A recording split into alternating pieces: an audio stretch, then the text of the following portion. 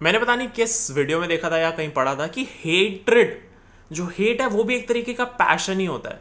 अगर कोई इंसान तुम्हें हेट करता है दैट मीन्स कि तुम उसकी लाइफ को इफ़ेक्ट कर रहे हो कहीं ना कहीं। उसके माइंड के अंदर तुम बैठे हुए हो, तभी हेट क्रिएट हो रहा है। अगर कोई इंसान तुम्हें हेट करता है तो सीधी सीधी बात है कि तुम उसकी लाइफ को इफ़ेक्ट कर रहे हो। मेरे लिए पर्सनली अगर कोई इंसान मेरे को हेट भी कर रहा है दैट इज़ बेटर कि उस इंसान को मेरे बारे में पता ही नहीं है। वो मेरे बारे में कभी मतलब सोचता ही नहीं, उसके दिमाग में मेरा थॉट ही नहीं आता। इस वीडियो का मेरा प्लान था कि बादशाह का नया नया ट्रैक आया है, इल्ज़ाम। उसको हम म्यूज़िक रिव्यू करेंगे, लेकिन ये वीडियो का टॉपिक एकदम ही चेंज हो गया जैसे मैंने पूरा गाना सुना। मैंने गाना प्ले करा मैं पूरे टाइम बहुत ध्यान से सुन रहा था। मेरा एज सच कोई रिएक्शन नहीं था, क्योंकि मैं, मेरा पूरा ध्यान वर्ड्स पे था। हम जो नॉर्मल लोग हैं, हम इन बड़े आर्टिस्ट को देखते हैं और हमारे दिमाग में यही चीज़ आती है कि ये तो कमर्शियल गाने बना रहे हैं लेबल के साथ हैं। भाई पाशा ने रोल्स रॉयस ले ली, बहुत पैसा इनके पास, इनको फ़र्क नहीं पड़ता कि हम क्या सोचते हैं। इनको बहुत फ़र्क पड़ता है कि हम क्या सोचते हैं। एंड ये चीज़ मेरे को इस गाने के थ्रू पता चल गई। हम एक चीज़ भूल जाते हैं कि ये आर्टिस्ट भी कहीं ना कहीं इंसान ही है इनको फ़र्क पड़ता है।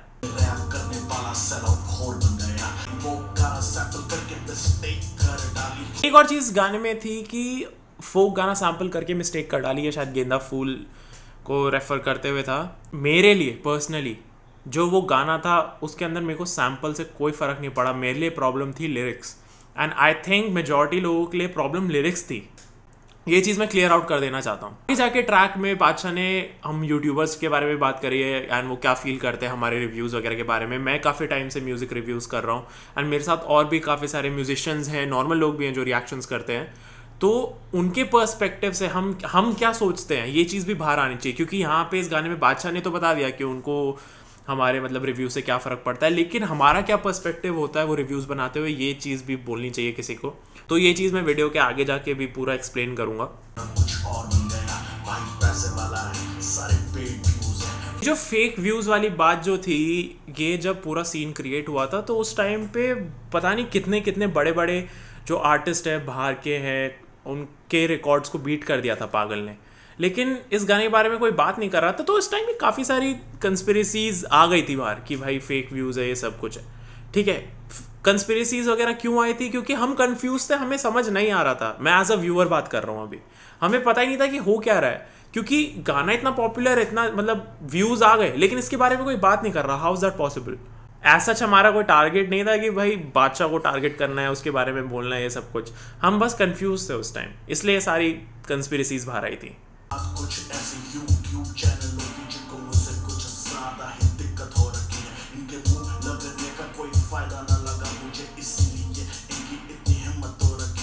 बाय एनी चांस अगर ये वीडियो कोई भी बादशाह की टीम में से देख रहा है प्लीज़ मेरे को मत मारना कि ये। बाय एनी चांस ये वीडियो बादशाह की टीम में से कोई देख रहा है, ठीक है? मैंने पहले बहुत सारे म्यूज़िक रिव्यूज़ बनाए हैं। अगर उनमें से कोई भी चीज़, अगर मैंने ऐसे बोली है जो कहीं ना कहीं आर्टिस्ट को हर्ट करी है तो I am sorry for that मेरा ऐसा कोई इंटेंशन नहीं था। लेकिन ये चीज़ बोली गई है कि यूट्यूबर्स के पास फैक्ट्स नहीं है। ओके तो अब मैं ये चीज़ बता देता हूँ कि हमारा पर्सपेक्टिव क्या होता है? एटलीस्ट मेरा क्या होता है? हम म्यूज़िक सुनते हैं एंड हमें जैसा लगता है, हम वैसा रिएक्ट करते हैं। एटलीस्ट मेरे लिए ये है, मेरे लिए एंड दो तीन लोगों को और मैं जानता हूँ जो जेन्युइन रिव्यू देते हैं। मैं यहाँ पे कुछ कुछ रिएक्शन चैनल्स की तरह नहीं करता कि बस आके तारीफ़ ही, तारीफ़ करनी जस्ट बिकॉज़ सब्सक्राइबर्स गेन कर रहे हैं। मेरे को जैसा लगता है, मैं वैसा बोल देता हूँ। और अगर हम कंप्लेंट करते हैं कि ये गाना अच्छा नहीं है, हमें अच्छा नहीं लगा, कितने ही व्यूज़ क्यों ना हो उस पर इज़ बिकॉज़ हमें पता है कि उस आर्टिस्ट की केपेबिलिटी कितनी है। बादशाह की केपेबिलिटी सबको पता है कि कैसे गाने प्रोड्यूस कर सकता है भाई बादशाह। लेकिन उसके बाद गेंदा फूल आया था। गेंदा फूल was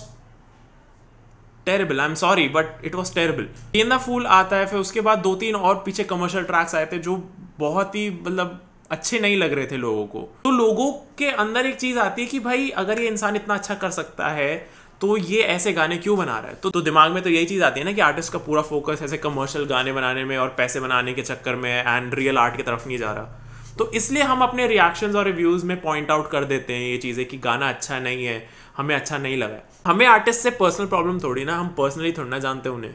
हम इसलिए ही क्रिटिसाइज करते हैं क्योंकि हमें पता है कि आर्टिस्ट की कैपेबिलिटी क्या है।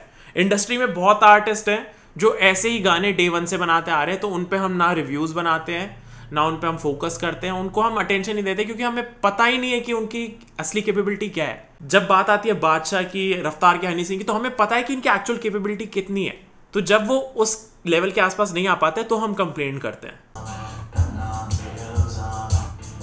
ये ट्रैक सुन के मेरे को एक्चुअली काफ़ी बुरा लगा था बिकॉज़ मैंने भी गाने बनाए हुए हैं पास में एंड मेरे को पता है कि जब गाना कोई भी इंसान अगर बनाता है ना तो बहुत दिल से पैशन से बनाता है। एंड जब वो गाना लोगों को पसंद नहीं आता ना तो बहुत चुभती है बात, बहुत ज़्यादा चुभती है।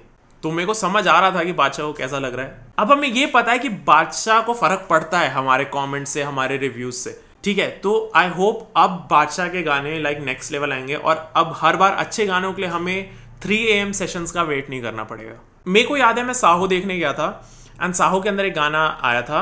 उस गाने को जब मैंने सुना मूवी के बीच में आई वॉज़ लाइक कि भाई ये क्या गाना है, क्या सोनिक क्वालिटी इस गाने में। मैं घर गया, मैंने सर्च करा एंड मेरे को पता चला वो बादशाह का गाना था बैड बॉय सॉन्ग उसकी लिरिक्स मेरे को इतनी हिट नहीं करी, लेकिन उसकी म्यूज़िक की क्वालिटी बहुत ज़बरदस्त थी. एंड सेम चीज़ काफ़ी और गानों के अंदर है. बादशाह के बाकी गाने सुनो तो उसके अंदर म्यूज़िक इज़ इनसेन लेकिन जो एक चीज़ में पीछे रह जाते हैं गाने इज़ लिरिक्स या तो ये लिरिक्स ऐसे ही ऑन पर्पज लिखी जा रही है बिकॉज़ वही कमर्शियल गाने कमर्शियल गानों की डेफिनेशन ही ये बन गई है कि लड़कियों को ऐसे पॉइंट आउट करते हुए लिरिक्स लिखी जा रही है। बिकॉज़ थोड़े दिन पहले बादशाह का 47 के साथ गाना आया था विच वॉज़ टू गुड तो आई होप कि बादशाह के साइड से ये चीज़ आई है कि उन्हें कैसा फील होता है। एंड मैंने रिएक्शन जो चैनल हैं और रिव्यूज़ जो बनाते हैं, उनकी साइड से एक एक्सप्लेनेशन दे दी है। अगर तुम म्यूजिशियन हो, या फिर तुम्हारी भी कोई अपनी ओपिनियन है इस पूरे टॉपिक पे तो प्लीज़ कमेंट्स में बताओ। तुम्हें कैसा लगा है गाना? तुम्हारा क्या कहना है इस गाने के ऊपर? एंड आई होप आगे जाके बहुत बहुत सारे प्यारे गाने आएँगे बादशाह की तरफ़ से। इस वीडियो के लिए इतना ही। तुम्हें क्या लगता है इस गाने के बारे में मेरे को कॉमेंट्स में ज़रूर बताओ। Thank you so much for watching and मैं मिलता हूँ तुमसे अगली वीडियो में।